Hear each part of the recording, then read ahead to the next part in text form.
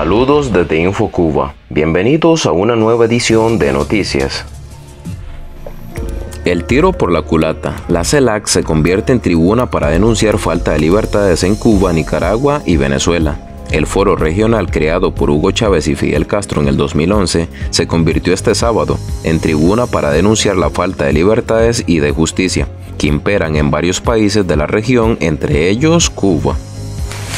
Autoridades sanitarias de España notifican un brote de dengue importado de Cuba. La noticia ofrecida por el diario español ABS indicó que se trata de una familia residente en Teruel, por lo que se podría suponer que se trata de una familia de cubanos residentes en dicha provincia española.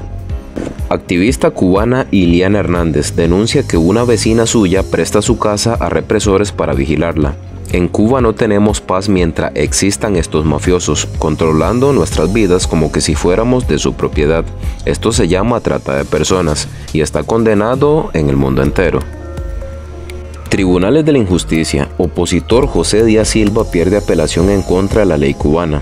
Los jueces se olvidaron de que uno de los objetivos primarios del Código Penal estriba precisamente en salvaguardar la propiedad reconocida en la Constitución y las leyes, como lo hizo el acusado.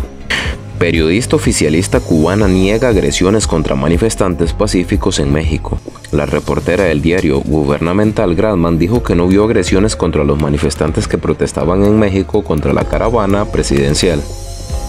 Yutuela Clara a Díaz Canel. Patri Vida es una canción a favor del pueblo cubano y en contra de la dictadura. El cantante respondió al mandatario, quien en la cumbre de la CELAC dijo que la canción era una mentira y una construcción entre algunos artistas en contra de la revolución cubana. Investigadora Meli Ramos denuncia amenazas por su activismo a favor de la libertad de Cuba.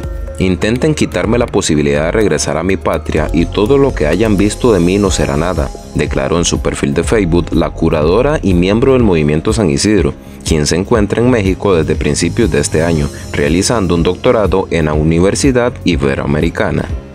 Artículo 19 repudia visita de Díaz Canel a México con evidencia de represión en Cuba.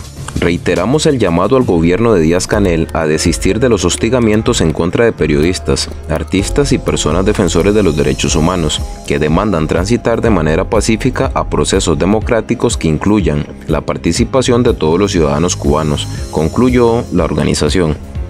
Tania Bruguera, es inmoral anunciar una bienal de La Habana mientras hay artistas presos. El discurso teórico que acompaña al anuncio número 14 de bienal resulta contradictorio con la realidad actual de Cuba, un país en el que se encarcelan artistas por ejercer su derecho a la libertad de pensamiento, creación y expresión, como Michael Osorbo, La Bastida y Luis Manuel Otero Alcántara.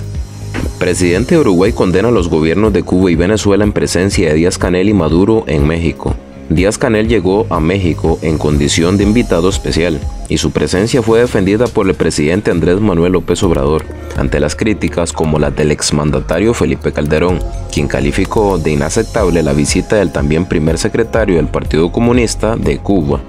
La televisión cubana corta transmisión de la cumbre de la CELAC tras humillación a Díaz Canel. La televisión cubana decidió cortar la transmisión de la CELAC luego de la humillación de Díaz Canel por el presidente de Uruguay. No defiendas más eso. Brother periodista cubano a escolta de Díaz Canel durante protestas en México. Tú eres cubano igual que yo. Has cogido las mismas guaguas que yo. Tú sabes que lo que está pasando en Cuba no está bien, dijo el periodista. Nos despedimos de una nueva edición de noticias del día domingo 19 de septiembre 2021.